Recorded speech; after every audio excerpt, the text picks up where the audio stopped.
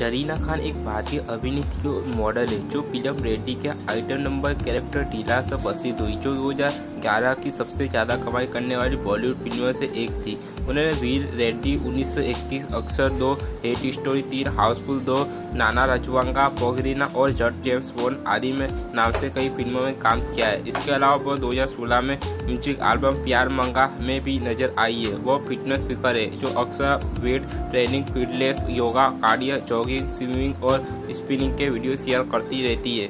वीर film के लिए उन्होंने लगभग आठ किलो वज़न बढ़ाया है, जो बॉलीवुड में उनकी पहली फ़िल्म थी।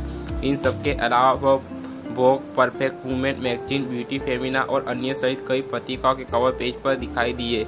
इसके अलावा जरीना को एक आभूषण कंपनी का प्रतिनिधित्व करने के लिए चुना गया है। उनकी आया का मुख्य स्रोत विज्ञापन, अभियान और विज्ञापन आदि है। अपनी पहली फ़िल्म वीर के लिए, उन्हें सर्वश्रेष्ठ बॉलीवुड डेब्यू के लिए जीसी ने अवार्ड जीता। 2023 में जरीना तब सुर्खियों में आई जब कोलकाता की अदालत ने 2018 में धोखाधड़ी मामले में उनके खिलाफ गिरफ्तारी वारंट जारी किया जरीना खान एक भारतीय अभिनेत्री और मॉडल है। जरीना खान 2023 तक छत्तीस साल की है। जरीना खान अविवाहित है। जरीना खान की कुल संपत्ति पच्चीस तीस करोड़ है।